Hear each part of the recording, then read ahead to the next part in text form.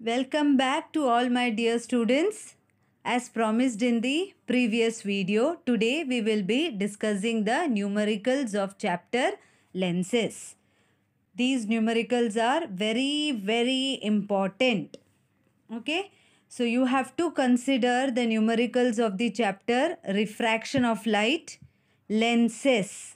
These two chapters should be considered first. Then you should move on to heat, gravitation, and all. Okay, lengthy sums and all will not be asked much in the board exams. Okay, so such questions where you have small question and the solution also you get it easily, such questions will be asked. That is the reason why this chapter lenses has so much weightage in your board exam. Okay, so without wasting much time, let us get into the first question of chapter lens. The first question is Doctor has prescribed a lens having power positive 1.5 D diopter. What will be the focal length of the lens? What is the type of the lens and what must be the defect of vision? Now, they have given us the answer. We will not look at the answer. The defects in vision I have not discussed with you till now. But while I solve the sum, I'll tell you, uh, roughly, I'll just tell you the defects in vision. In detail, we will discuss it in the coming videos. Okay, so you must have gone through the previous video. If you have not gone through the previous video, again I'll share the link. You go through those videos, get your concept clear, learn the definitions, learn the formulas, and then come and solve. Oh, so once again I read the question. Doctor has prescribed a lens. Which lens we don't know. Having power positive 1.5D. So we'll write given P power plus 1.5D. What will be the focal length of the lens? Okay, so first let us find the answer for this. So let's start. I'll write given sum number 1 given power plus 1.5 D is given diopter. Then to find, they are asking us to find focal length and which type of lens and what must be the defect of vision. Okay, so type of lens also asked, type of lens and uh, defect in vision which defect that we will come to know once we get the focal length. Hmm? We all know no if the focal length is positive convex lens, focal length is negative concave lens. Focal length has a close relation with power. Yes, we have learnt it in the previous video. So we'll write formula. What is the formula that we are going to use? Power is equal to 1 upon f and that focal length should be in meters. Okay, so next is solution. All the numericals you have to solve in this way in your board exam. Solution. Again, we'll write P is equal to 1 upon F. We know power 1.5 plus 1.5. So 1.5 is equal to 1 upon F. So therefore, we want to find F. Let us take it to the opposite side. 1.5 into F is equal to 1. Therefore, F focal length is equal to 1 upon 1.5 which is equal to F is equal to I'll multiply by 10 down and up to remove the decimal point. So we get 10 upon 15. 5 2s are 5 3s are. Now 2 divide by 3, divide it in your mind. 0 0.20 it will become. 3 6 are 18, correct? So 20 minus 18, 2. Again, it will go on and on recurring. So 666 dot dot dot meter. We will round it off and write focal length is equal to 0.67 meter. Power was positive, so focal length will also be positive. Okay. So we'll write because the power given is positive, which type of lens will be used? The lens used is convex lens. We had discussed in the previous video.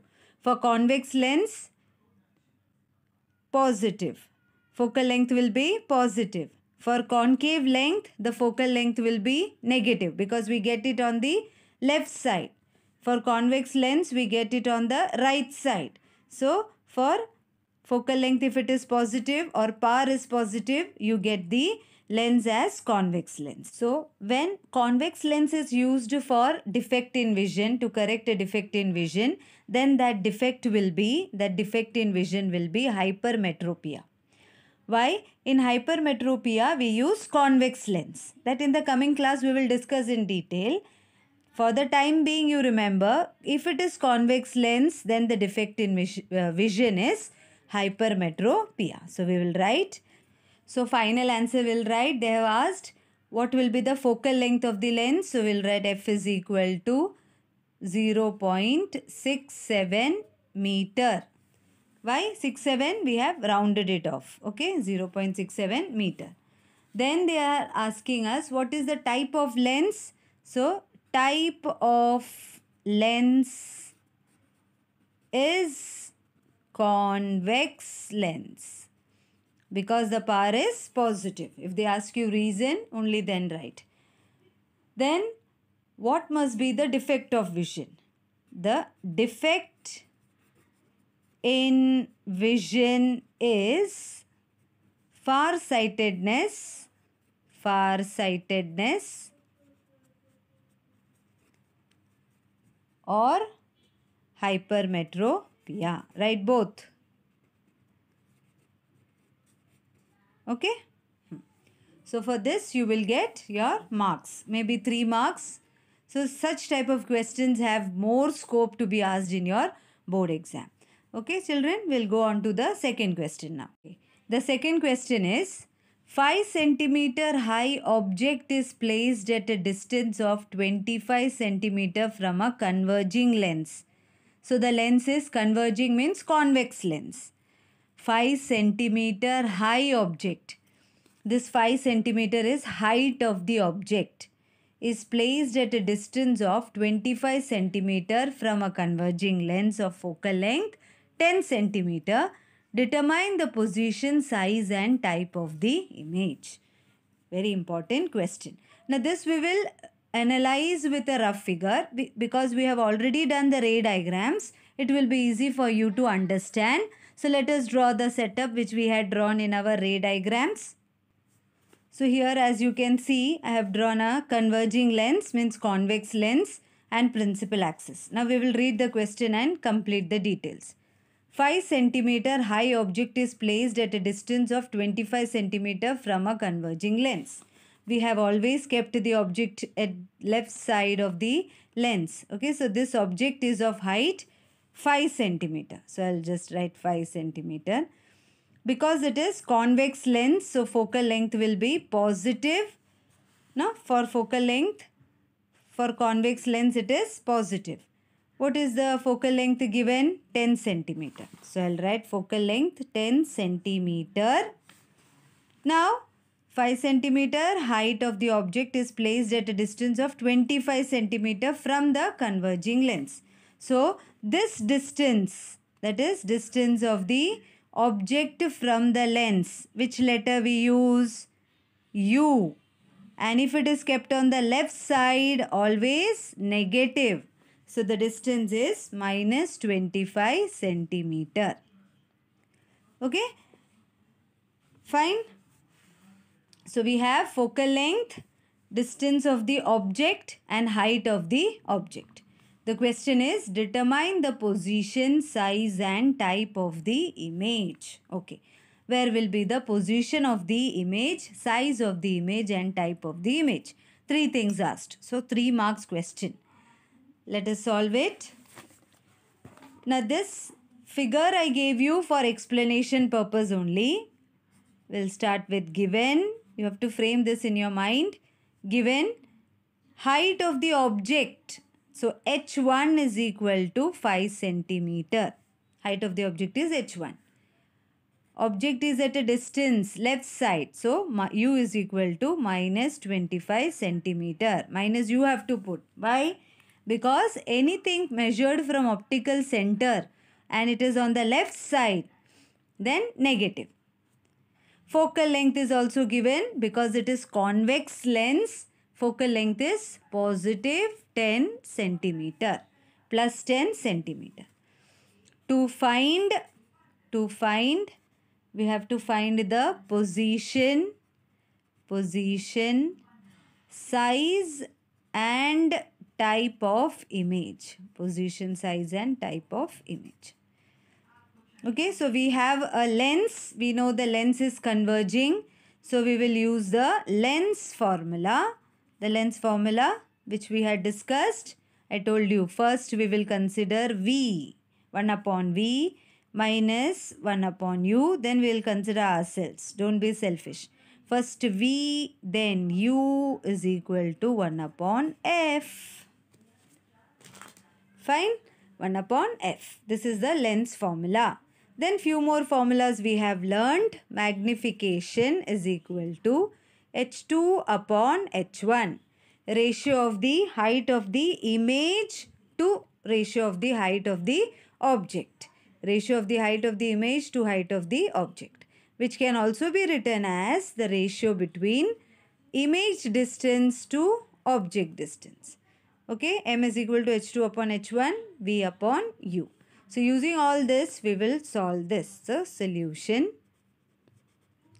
Let us check. Do you know v? No. u, yes, we know the value of u and we know the value of f also. So we will use this formula first. 1 upon v minus 1 upon u is equal to 1 upon f. Substitute the values therefore 1 upon, how much is the value of v? Mm, we don't know. V as it is minus 1 upon U is minus 25. So minus 25 is equal to 1 upon F is positive because it is convex lens. 1 upon 10. Now first we will solve this. Minus and minus will become plus 1 upon V plus 1 upon 25 is equal to 1 upon 10. Minus or minus क्या हुआ? Plus.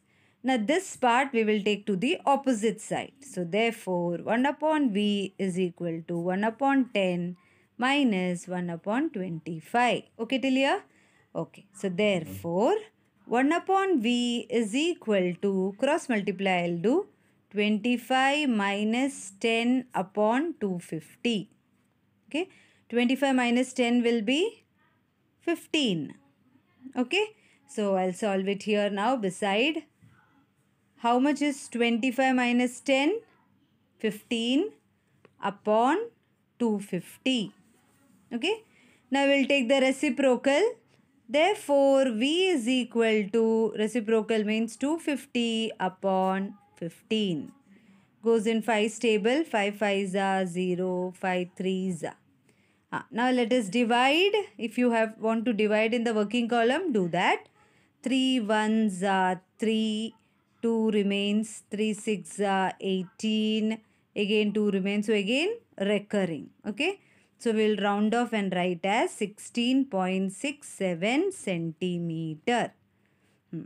there are a lot of message coming up from this value first of all the distance of the image is positive इसका मतलब image is formed on the right side okay image is positive no so anything on the right side is positive so image somewhere here on the right side so right side में image है मतलब image is real okay हाँ so we will highlight this so we will write therefore the image formed is real real image because it is on the right side of the lens from the optical center right side.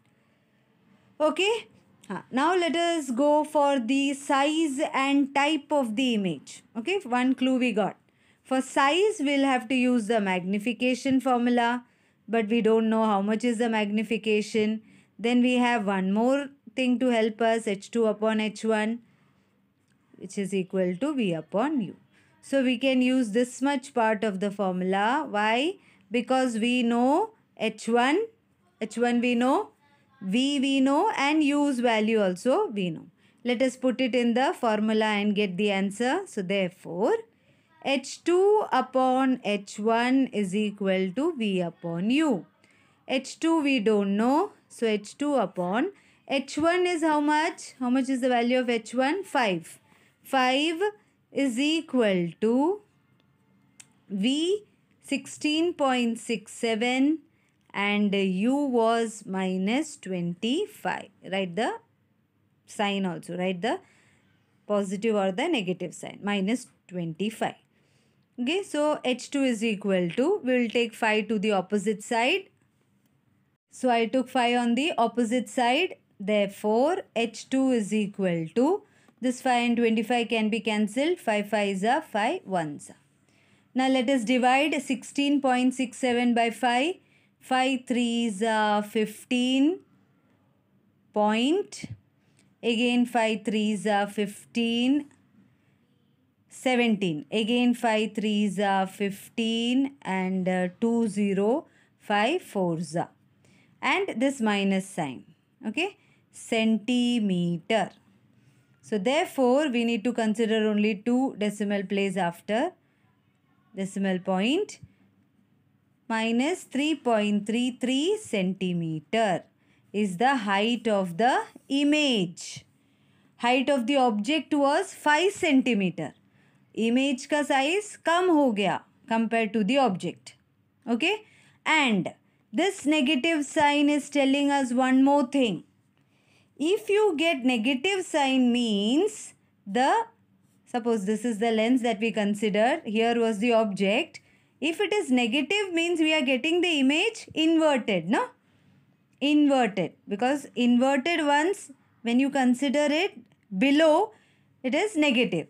When you consider any distance or any height above the principal axis perpendicular above positive below means negative means it is inverted. Okay? So we will write therefore the image is inverted.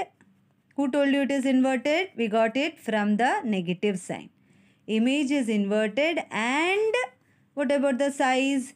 Smaller than object. Okay? The size is smaller than the object no object was 5 centimeter high. Image we got only 3.33 centimeter. Okay? So in the textbook you will see the height of the image written as 3.33 centimeter. Minus denotes that the image is inverted. Okay? So they may ask you what does the minus sign denote? It denotes that the image is inverted. And because number is less than 5, so it is smaller than the object. Now let us all conclude it in our final statement. Answer. We'll go as per the question. The first question asked was, determine the position, size and type of the image. Image is at a distance of at a distance of 16.7 centimeter from lens. It is smaller than the object. Size is asked, no? Smaller than the object of height. What is the height? 3.33 centimeter and what is the nature of the image type of the image is real image okay image is formed at the right side so it is real image and real image. Okay? These are things you have to write. And to be on the safer side write down h2 is equal to 3.33 centimeter. V is equal to 16.7 centimeter. And real we have specified. Okay, this way you have to submit your answer.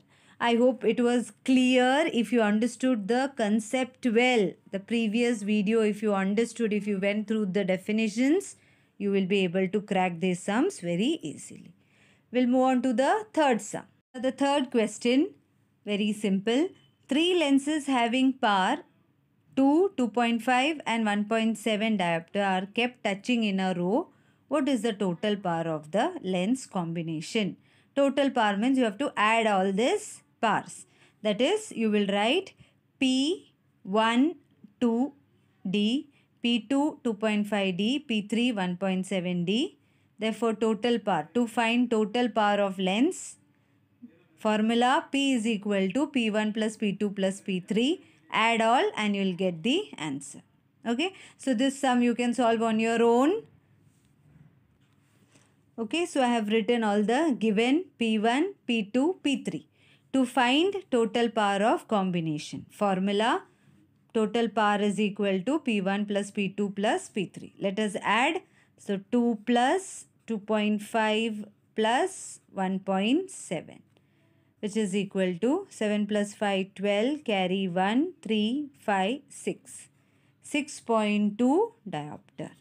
Final answer write down total power of lens combination is 6.2 diopter. That's it. I hope you get such sums for your exams. God bless you all. Let us go for the fourth question now. Okay, the fourth question goes this way An object kept 60 centimeter from a lens. From a lens. So they have not specified which type of lens.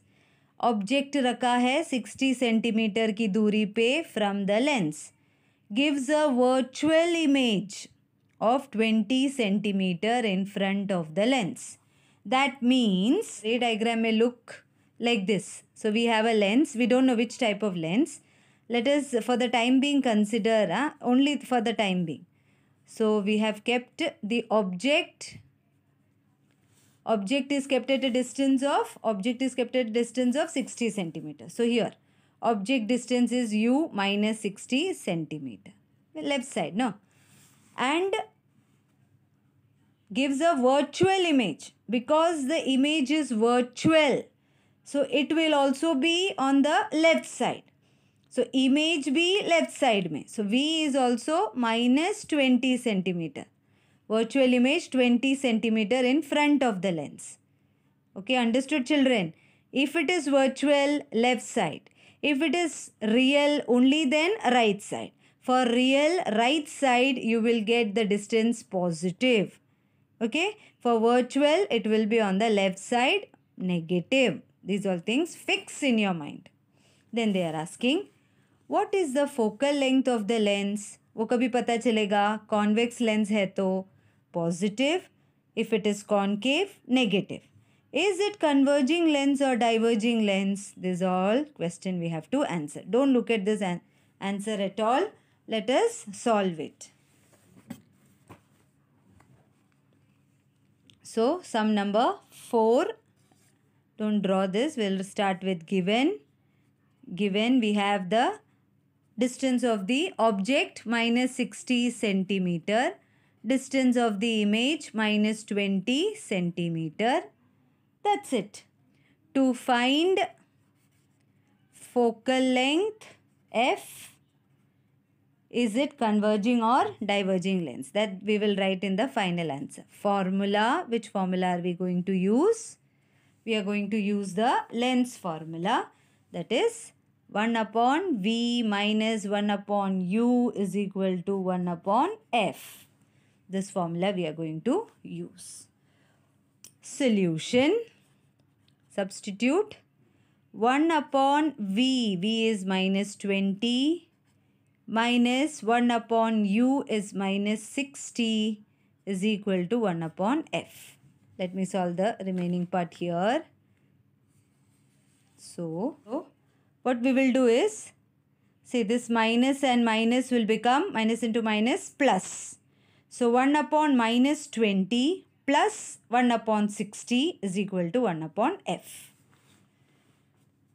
1 upon minus 20 plus 1 upon 60 is equal to 1 upon f. Fine?